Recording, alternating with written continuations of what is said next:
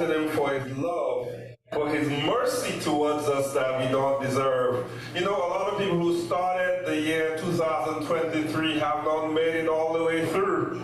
But we are some of the privileged few that God has blessed to be see, to see almost the end of this year and about to enter the year 2027. God has been good to us, hasn't He? He has blessed us during the year. He has sustained us. He has provided for us. And most of all, He has given us His Son to save us, which we're celebrating today. Um, I want to um, thank my good friend Merrill Antoine. You know, I have known Merrill for a while. He's probably my my oldest friend. He was in back in St. Lucia. He was my next door neighbor. We lived so close that I could stay outside my window and shout Mary when he would come over. We would play cricket and soccer together, and we remained friends over the years, and he's one of my very dear friends. I'm happy that he's came over to spend this Sabbath with us, and was blessed us with his gift of music. Um, I, I, appreciate you, Merrill, and love you, and I appreciate you as a friend. And also have my lovely wife with me today. Amen. So I, I, I better preach today. Because she's come here, and we're blessed to have her with us. So I have a word from you, from the Lord for you.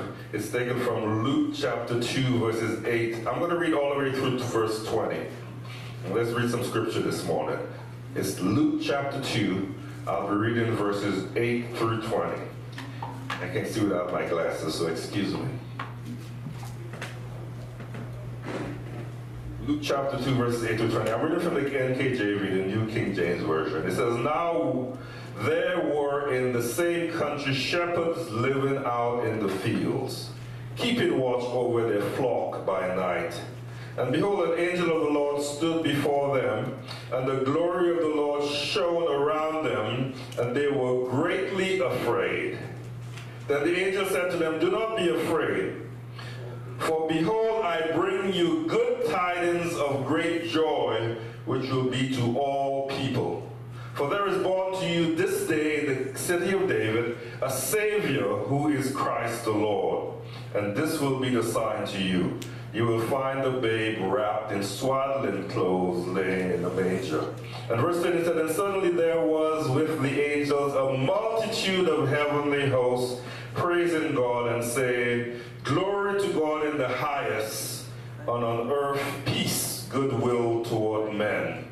So it was when the angels had gone away from them into heaven that the shepherds said to one another, Let us now go to Bethlehem and see this thing that has come to pass, which the Lord has made known to us. And they came with haste and found Mary and Joseph and the babe lying in the manger. Now, when they had seen him, they made widely known the saying which was told them concerning this child. And all those who heard it marveled those things which they were told by the shepherds. But Mary kept all these things and pondered them in her heart. Then the shepherds returned, glorifying and praising God for all the things that they had heard and seen as it was told them.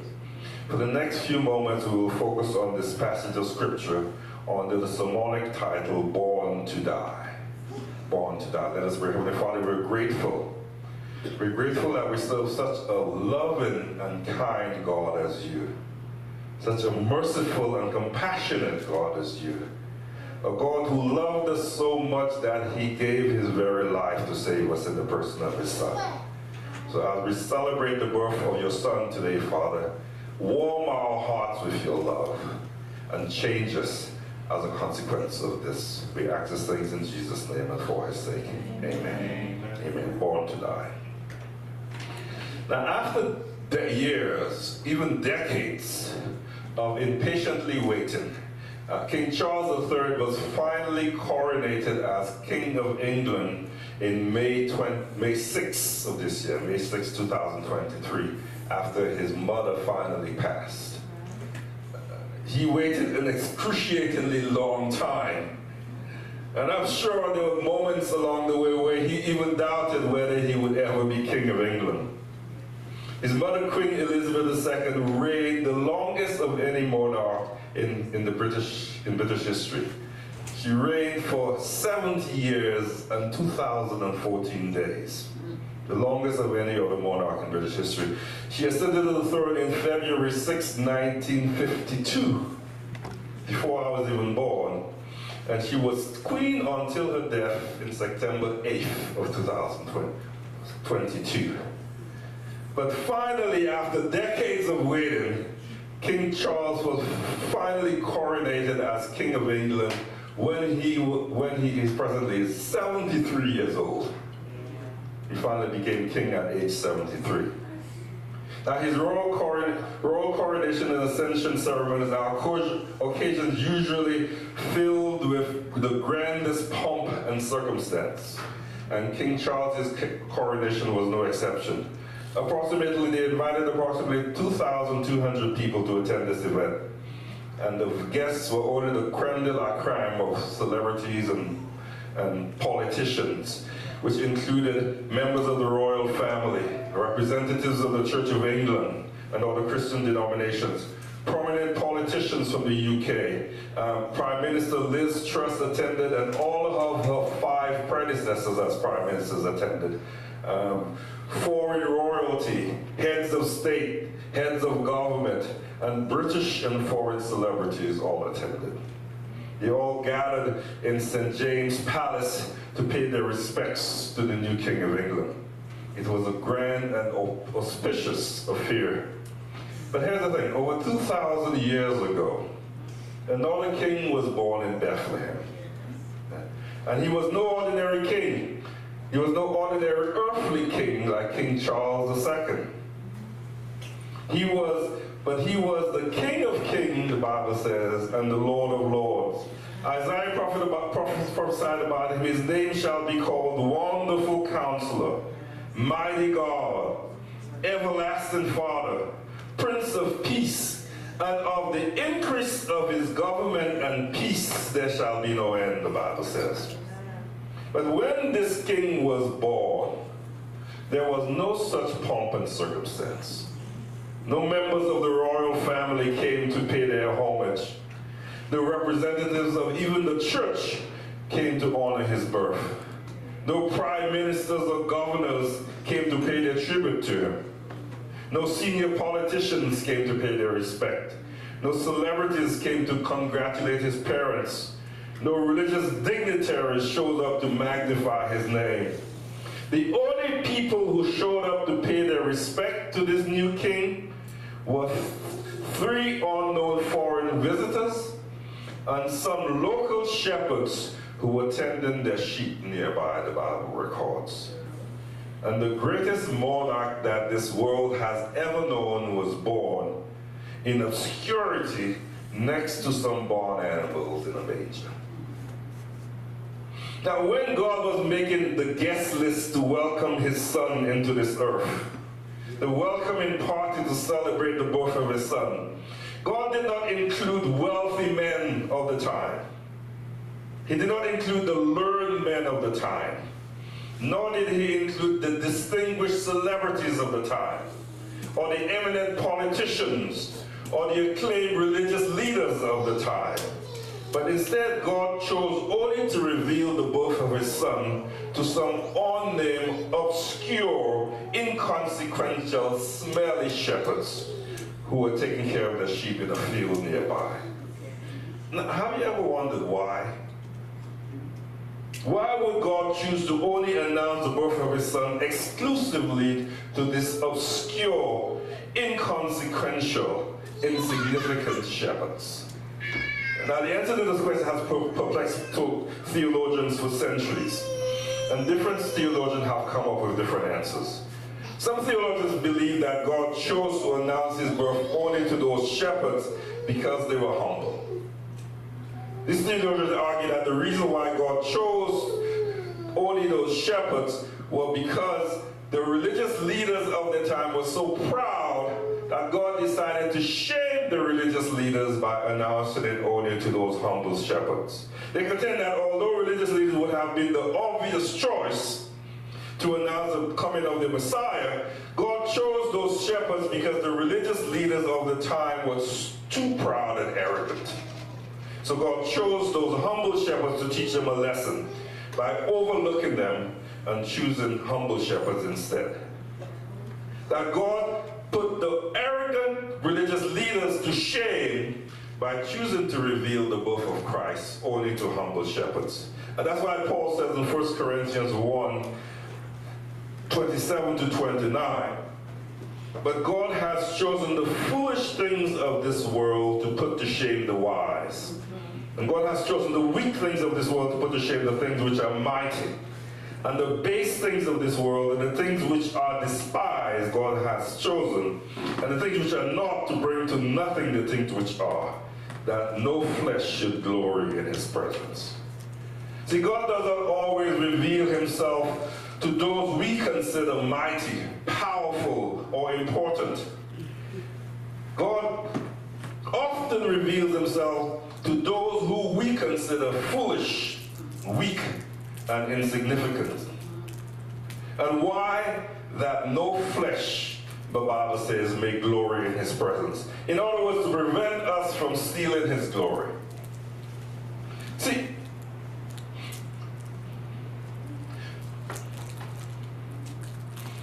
a lot of us sometimes think that if we are not involved in the program, God's program will fail. Some of us fooled ourselves into believing that God needs us. But I have bad news for you today. God does not need any one of us. God does not need me.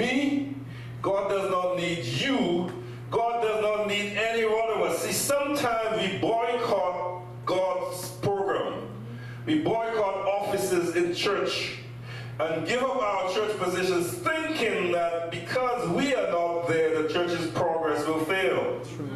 But I have news for you. God's program will go forward and continue to flourish with or without you. That's right. And if our heads get too big and we start getting arrogant, God will accomplish his will through other servants. Servants that sometimes we believe are below us.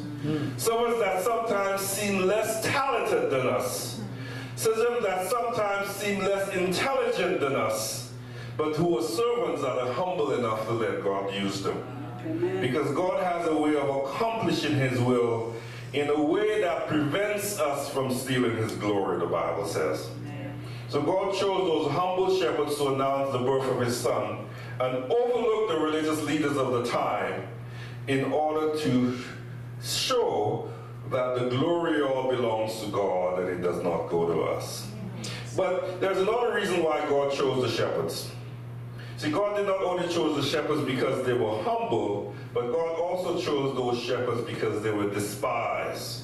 The famous evangelical um, evangelist Billy Graham states that God chooses to announce the arrival of his son through those shepherds because they were despised in order to show his great love encompasses everyone.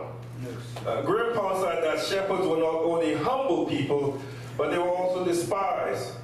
You see, by the time of Christ, shepherds were looked down upon by most people in the community. See, shepherds had to sleep in the field with their sheep. They spend all of the time with their, with their sheep in the field because they had to protect them from beasts of prey that could come and attack them at any time of the night.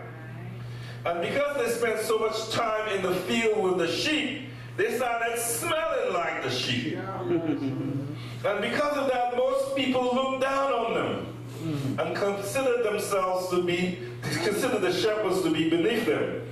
And Billy Graham argues that God selected those despised shepherds to announce the arrival of his son to show that his love encompasses everyone. Amen. To show that Christ did not come to save only the folks that society may consider important, but his love extended to everyone, Yeah. even the despised members of society. See, because God love encompasses everyone. Do you know that God loves everyone? Yeah. Whether you're rich or poor, God still loves you. Amen. Whether you're good, bad, or in between, God still loves you. God love encompasses everyone because he loves everyone. His love extends to everyone. His grace extends to everyone. His compassion extends to everyone. his salvation extends to everyone. And God very well may have selected those shepherds to announce his arrival to show that his love extends to everyone, that his love extends to even the despised members of society. Yes. But I believe that the greatest reason why God chose to announce his arrivals to those shepherds exclusively was because Christ was born to die. Amen. Christ was born to die. See, theologians point out that shepherds in today's con- that shepherds in today's context were quite likely actually priests. Do you know that? Mm-hmm. Theologians explain that the shepherds in this text today were quite likely actually priests. Let me explain to you why. They believe that they were priests because priests they were actually fulfilling temple duties that only priests were permitted to fulfill. Mm-hmm. See, we know that they were fulfilling temple duties because of what is written in the Mishnah. Now, the Mishnah is a group of writings recorded the oral tradition that governed the people of Israel at the time of Christ. And one of the regulations in the Mishnah expressly forbade the keeping of flocks anywhere throughout the land of Israel except in the wilderness. The only place where you could keep flocks, according to the Mishnah at that time, was in the wilderness. You couldn't keep it anywhere in the city. In other words, it was illegal for shepherds to keep their flocks at or near a city, as was described in this passage in Luke. But there was one exception. There was one exception to this rule. That was the flock that was kept for temple service.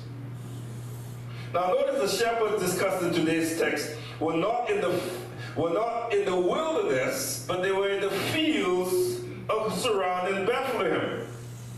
So the sheep they were keeping must have been flock kept except ex, kept exclusively, excuse me, for temple services. And only priests could keep the sheep that was used exclusively for temple service. So many theologians argue that the shepherds themselves must have been priests. Yeah. Now, why would priests be required to do such menial tasks as tending to sheep? It is because these sheep they were tending were intended to be used in sacrifices at the Passover. And Moses has specified that no ordinary sheep could be used for sacrifices at the Passover. As a matter of fact, he said the sheep had to be one year old lambs and they had to be perfect and without any blemish or defects. And it was the priest's job to make sure that these sheep were kept on unharmed and in a perfect condition. And they were ready for the sacrifice to be used as sacrifice and, and passed over. So these priests played a significant role in the Jewish sacrificial system. And it was their job to prepare these sheep in their care for the Passover. And while they are quietly performing their duties, keeping watch over their flock by night, the Bible says, the Bible says, an angel of the Lord stood before them, and the glory of the Lord shone around them. And the angel announced to these humble shepherds that the Messiah, the Savior, who is Christ the Lord, the real Passover lamb, was just born in the city of David. The angels announced that Christ, the promised Messiah, the real Passover lamb, Christ, the object of all their hopes, Christ, the wonderful counselor, Christ, the mighty God, Christ, the Prince of Peace, Christ, the Rose of Sharon, Christ, the lily of the valley, Christ, the fairest among ten thousands, Christ, the Messiah, had just been born in Bethlehem, Mm. and that things would never be the same. And the Bible says in Luke 2 13 through 17, and suddenly there was with the angels a multitude of heavenly hosts praising God and saying, Glory to God in the highest, on an earth, peace, goodwill towards men. See, the greatest reason why God chose to announce the arrival of his son exclusively to these shepherds was because Christ was born to die. Yes. See, Christ did not come to this earth on vacation, mm-hmm. but he came to this earth for a specific wor- purpose Yeah. with a specific mission in mind. Amen. And that mission was to be the Passover lamb. Yes. Right. Christ was born to die.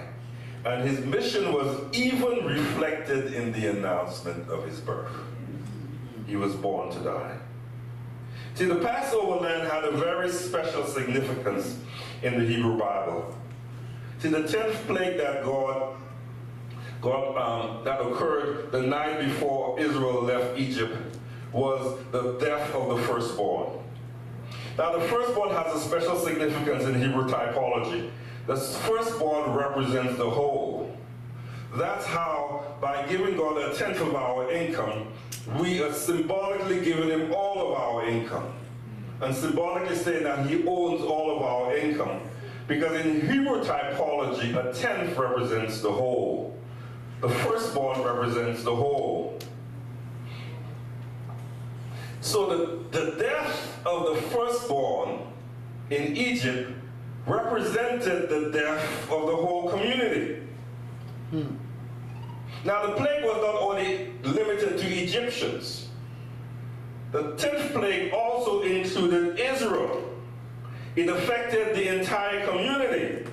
But God told Moses to tell the people, both Egyptians and Israelites, that whoever sacrifices a Passover lamb and places the blood of the Passover lamb on their doorposts, that when the death angel came the firstborn, which represented the entire community, that he would pass over the homes and spare the lives of the firstborn, symbolizing that he would spare the death of the whole community. Now, do you know that the death, what the death of the firstborn represented? It represented the wages of sin. Hmm. It represented the death that sinners suffer as a penalty for their sins. It represented the second death. It represented eternal separation from God, the life giver. It represented the final destruction of the wicked in the fires of hell. And do you know what the death of the Passover lamb represented? It represented the death of Christ on behalf of the sinner as payment for the penalties of the sin of the sinner. And the painting of the blood of the Passover lamb on the doorpost represented accepting and appropriating the blood of Christ as payment for the penalties of your sins. And it assures us that during the judgment, when the death angel comes to punish sinners, that he will pass over anyone who paints the blood of Christ, the Passover lamb, over the doorpost of their hearts. And do you know that the death of Christ on our behalf as a Passover lamb paid the penalty for every sin that you have committed in your life? Amen. That the death of the Passover lamb paid for the penalties of every sin that you had committed in the year 2023. But not only that, it also paid the penalty for every sin you have committed in every year preceded in your life from your birth until now. But not only that, it paid the penalties of every sin that you may commit in the year 2024. But not only that, it also paid the penalties for every sin you may commit to your dying day. It pays the penalties for all your sins from birth to death. Do you know that every sin that you have ever committed, that any sin you may every sin you may commit in the future to your dying day has already been paid in Christ. Amen. That's why the Bible says in Hebrews 10 14, for by that one offering, for by that one offering, he forever made perfect those who are being made holy.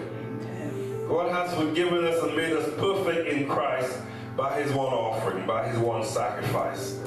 That is why the Bible says that when God looks at us, he sees us as perfect in Christ, as if we have never sinned, as if we're not presently sinning, and as if we will never sin in the future. God has forever made us perfect in Christ by his one sacrifice. And at the judgment, when the death angel come to execute the death sentence on sinners, The Bible says he will pass over us because we have been made perfect in Christ. He will pass over us.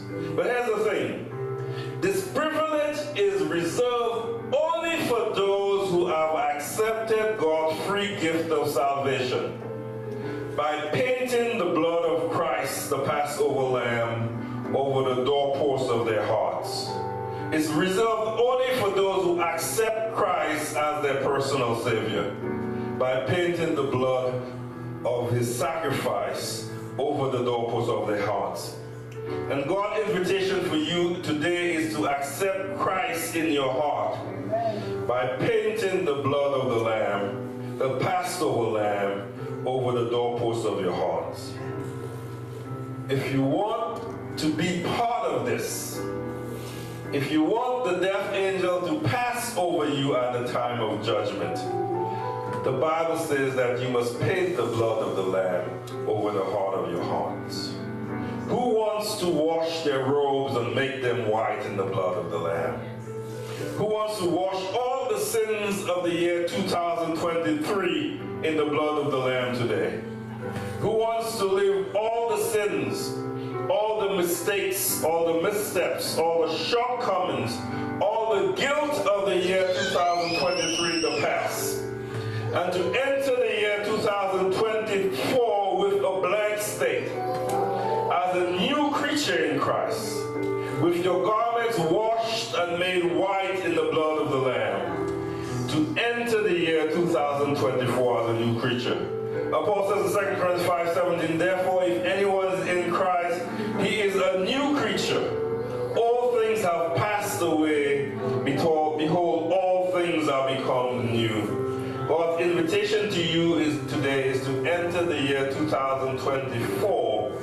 as a new creature in Christ, with your garments washed white in the blood of the Lamb. And that is only possible because of the sacrifice that Christ has made on our behalf because of the fact that as the Passover lamb, he has suffered the penalties of sin that we deserve. And through his blood, through his sacrifice, we can now be washed clean of all of our sins, of all of our mistakes, of all of our impurities, of all of our unrighteousness, of all of our shortcomings. And now we have the opportunity to enter the year 2024 as new creatures in Christ, cleansed by his blood, ready for salvation, ready for his return, if we will accept his grace and mercy.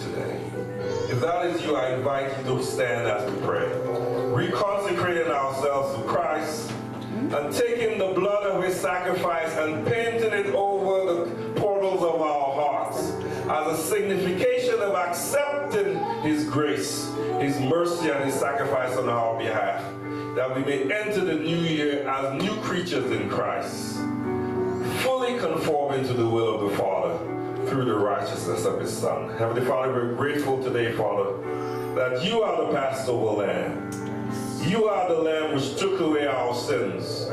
You are the lamb that bare the penalty that we deserve. You are the lamb that made eternal life to us possible. And we celebrate your birth and also celebrate the salvation that you have made, made available through us through your son Jesus Christ. But help us to accept your gift of salvation while there is still chance and make our calling and election sure because of the sacrifice that you have done on our behalf. Save us today, Father. We ask these things in Jesus' name and for his sake. Amen. Amen.